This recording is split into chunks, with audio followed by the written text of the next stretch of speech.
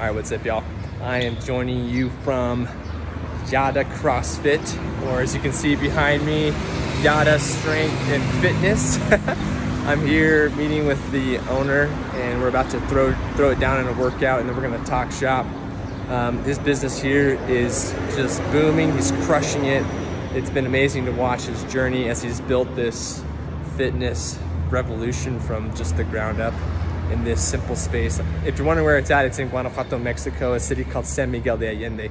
Now, there's some principles that you need to know if you want to ever sell your business. And even if you don't want to sell, right? If you're still in the empire building stage, if you really want to crush it and scale, you've got to, got to, got to exit operations.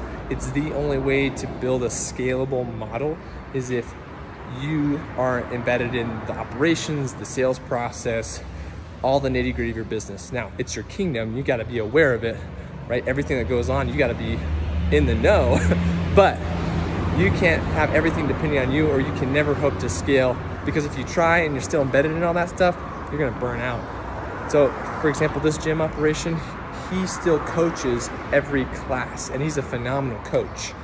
But for him to successfully scale this business, he's got to take everything that he's good at and package it up into systems and processes that can be taught to other people who he can train, who are trustworthy people, right? Where you can release the operations to someone else and you have full confidence that the quality is gonna be there. It's gonna still continue to be this brand, right? Yada CrossFit.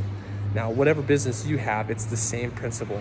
You've got to figure out how to exit the operations, take all that brilliance in your mind, everything that has gone into making your product, your service high quality, turn it into processes and systems that you can teach other people.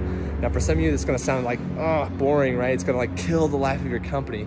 But honestly, the thing that's killing your the life of your company is you and the fact that you're the guy or gal that is wrapped up in the operations, okay? Now, your creativity, your nimbleness, you working without processes and systems, like building all these custom solutions, like that served you well from day number zero to today, perhaps, right? That's what allowed you to grow and for people to feel like you're giving them a custom solution. But it's not what's gonna work from today on to the future. And you gotta realize that. And the sooner you realize that, the sooner you can actually grow and feel free of your business, okay? That's what the tribe is all about, freedom bosses. So you're in the tribe, that's why you're watching this video.